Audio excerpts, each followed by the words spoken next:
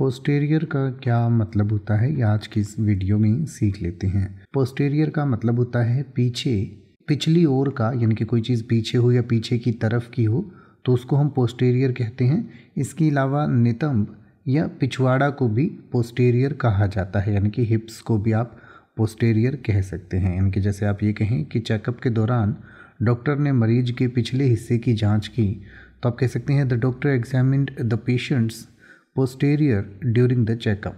The doctor examined the patient's posterior during the checkup. या अगर आप ये कहना चाहें कि बहुत देर तक बैठने के बाद उन्हें अपने पिछले हिस्से में दर्द महसूस हुआ तो आप कह सकते हैं he felt a pain in his posterior after sitting for too long अब आप ऐसे ही किसी भी वर्ड का मतलब हिंदी और इंग्लिश में यूट्यूब पर सर्च कर सकते हैं। आपको मेरी वीडियो मिल जाएगी, जिसमें आप बिना किसी फालतू बकवास के सीधा उस वर्ड का मतलब समझ पाएँगे। तो ऐसी ही वीडियोस को देखते रहने के लिए चैनल को सब्सक्राइब करें और बेल आइकन को प्रेस करें।